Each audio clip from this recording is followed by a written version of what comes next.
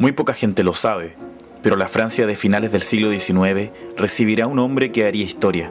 Una historia que pocos conocerían, pero que dejaría una semilla que influenciaría a generaciones de generaciones. El ejemplo de Belén es un ejemplo para todo artista, aunque no haya sido un artista, haya sido un científico, es un ejemplo de perseverancia, es un ejemplo de seguir tus sueños hasta el final.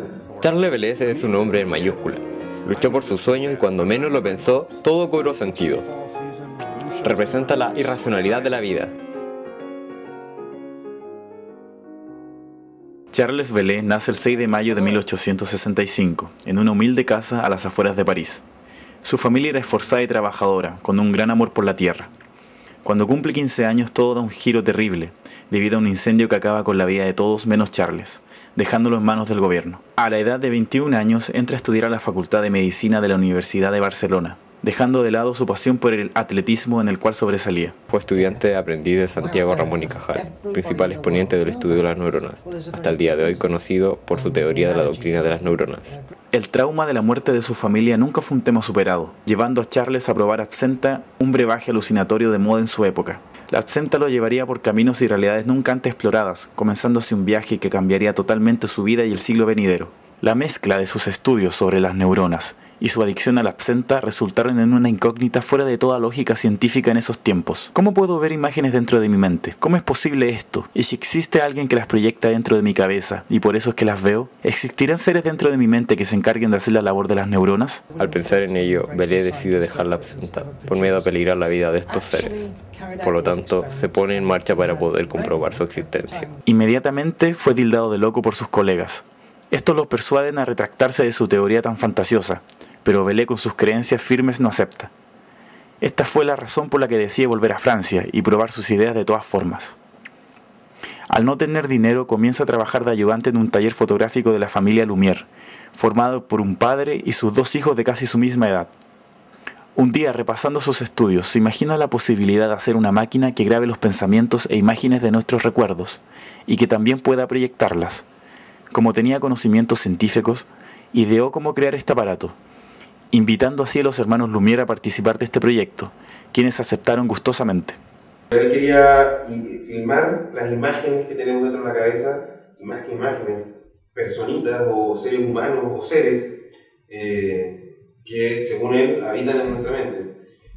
Para la fecha de 1892 llevaban ya la mitad del trabajo realizado, logrando hasta el momento capturar imágenes en movimiento, fue un descubrimiento tan interesante para los Lumière que le pidieron a Charles la posibilidad de grabar algunas imágenes en el exterior.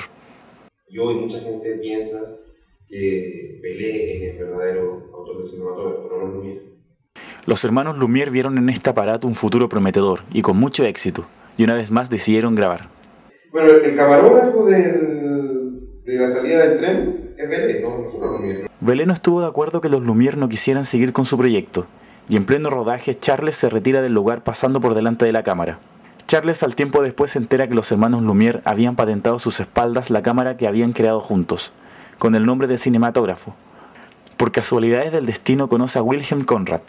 Este le propone ser conejillo de indias en sus experimentos con rayos X, a lo que éste accede gustoso por la posibilidad de poder seguir con sus estudios y probar de una vez por todas su teoría. Esto es muy cuestionable. Hay grandes voces que lo debaten aún y no se ha llegado a una resolución. La prueba es categórica. Charles conoce a Conrad en la primera Olimpiada Moderna en Atenas y como coordinador de pista recibió un anillo que se puede ver claro en las primeras placas de rayos X de la historia. Al fracasar por segunda vez, vuelve al consumo indiscriminado de absenta. En el transcurso de 26 años solo se supo de Charles que había participado en la Primera Guerra Mundial.